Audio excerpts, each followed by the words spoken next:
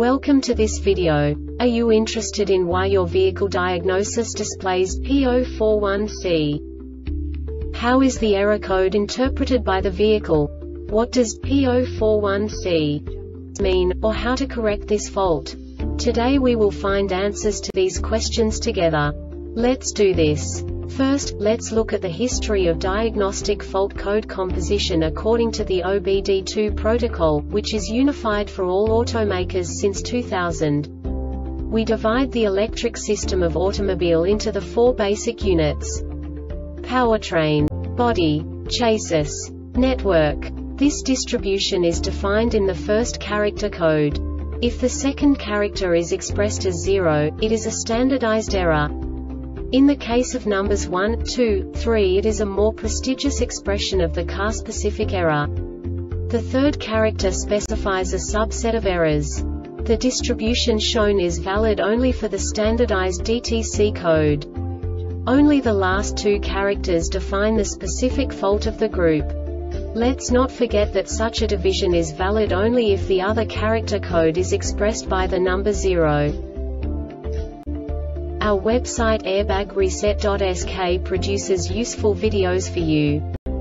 You do not have to go through the OBD2 protocol anymore to know how to troubleshoot any car breakdown. You will find all the diagnostic codes that can be diagnosed in a Chevrolet vehicles. Also many other useful things. The following demonstration will help you look into the world of software for car control units. You unbelievably can move the video a bit further. The error code is split into two bytes consisting of 16 bits. One bit is the basic unit that each computer works with. The bit has two logical states.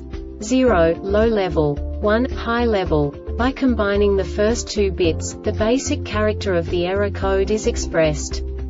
The next two bits again determine the second character. The last beat styles of the first byte define the third character of the code. The second byte is composed of a combination of 8 bits. The first 4 bits determine the fourth character of the code. And the combination of the last 4 bits defines the fifth character. A single byte conceals 256 possible combinations. We now know in what way the diagnostic tool translates the received information into a more comprehensible format.